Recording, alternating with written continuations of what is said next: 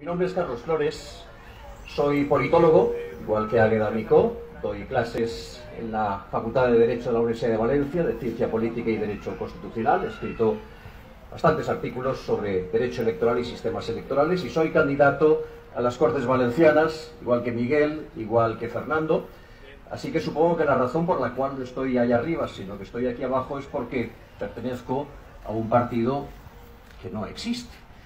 es el partido que tiene seis diputados en el Congreso, nueve diputados en las Cortes Valencianas, es el tercer partido de la Comunidad Valenciana, fue apoyado por el 18% de los valencianos la última vez que los valencianos acudieron a las urnas en diciembre del 2019, es el partido que estará gobernando esta comunidad dentro de dos meses,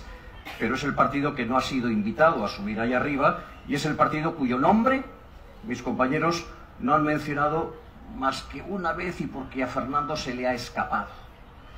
Es el partido que al parecer no existe, pero ustedes harían muy bien en tenerlo en cuenta. Y la pregunta es... Y la pregunta es, ¿esto se llama censura o tiene algún otro nombre más elegante?